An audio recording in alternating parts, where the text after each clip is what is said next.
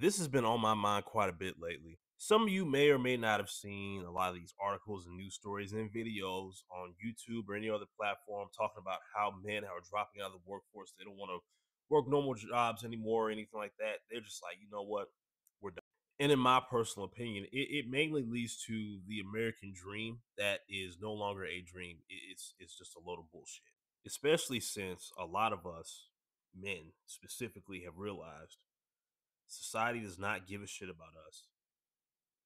If we're sick, injured, or if you pass away. I, th- I think the only time a man really gets praise for all the things he has accomplished throughout his lifetime and really gets his flowers isn't until he dies.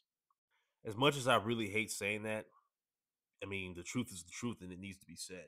Because when you have a combination of things going on at the same time right now, like jobs not wanting to pay, um, you know, Americans, you know, a livable wage, as a lot of people would say, because you have a lot of uh, undocumented or illegal aliens coming into this country that are taking those exact same jobs that Americans would have had and paying them significantly less money under the table to do the same job.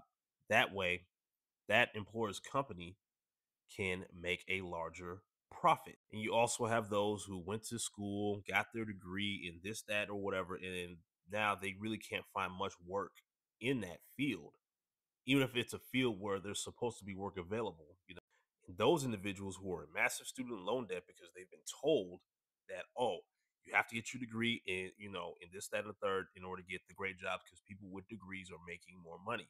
At least that's what they've been led to believe even that's what I've been led to believe at one point. But thankfully, I did not go to any major university. I was never really interested in going to a college like that because unless I was going to go for a STEM field or anything like that, I just didn't see the point of going.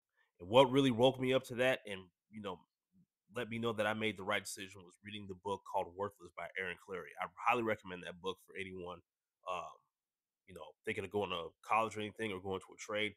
Definitely read that book before you make your final decision because in my humble opinion, there's no reason to go into massive student loan debt over something and you can't even find work in that field. So what the hell are you getting that degree for?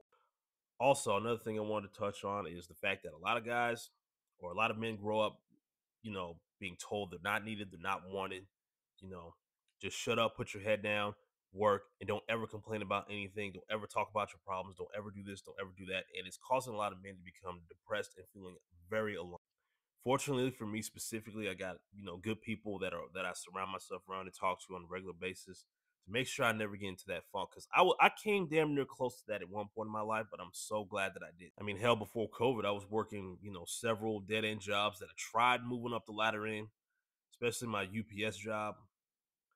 You know, at that point, I, when I tried to moving up the ladder, I mean, like be a supervisor and things like that, it, I learned very quickly that that that just wasn't going to happen oh, trying to be a driver, yeah, forget it. Because you're in line with like several other people trying to do the same thing. And there's not going to be a lot of spots open because there's people who have been doing that for a very long time and they do not want to retire. And I honestly don't blame. And all that that I just explained led has led to a lot of men deciding, you know what, I might just learn to trade crypto or trade stocks or something, or learn something I, that I can do, like post videos online or things like that, and stay completely out of the workforce because it is just not worth me running in a, or excuse me, it's not worth, you know, any guy um, just running in this endless rat race trying to chase something that not even 5% of individuals can achieve. And this has been going on for quite some time. This is nothing new at all. It's just that I find it wild how mainstream media just now really wants to shine the light on it when this has been going on for quite some time. And now it seems like they're trying to scramble to figure out a way to get men back into the workforce. And in my humble opinion, it's two minutes too late. Men would rather just sit at home, chill, just trade a few stocks, maybe learn how to fix some computers or just do a bunch of side hustles instead of going back to punching the clock again at a company that doesn't give a shit about them. And another thing, I think it's at the point of uh, beyond repair because a lot of guys are probably finding a lot more happiness just sticking it to the, staying with themselves, excuse me, just staying with themselves and just doing their own thing instead of just going back to the old traditional, you know, you go in, you work a job 30 years, you get promoted or get pensions and all that stuff. That's those days are over with. You guys let me know what you think about this down below in the comment section. Let's talk about it.